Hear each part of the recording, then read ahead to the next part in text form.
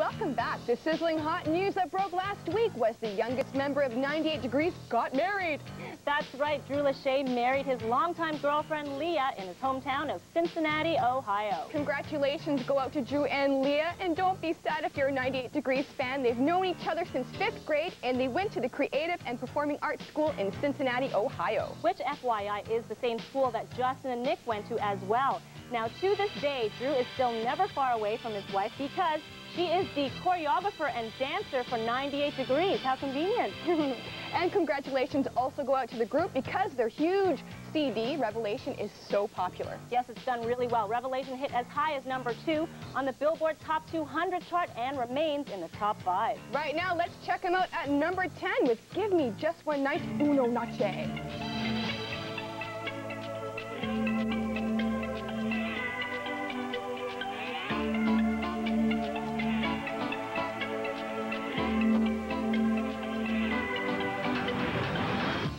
keep telling me you want me and hold me close all through the night.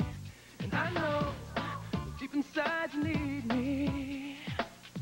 No one else can make it right. Don't try to hide your secrets. I can see it in your eyes. You said the words without speaking. Now I'm gonna make you mine.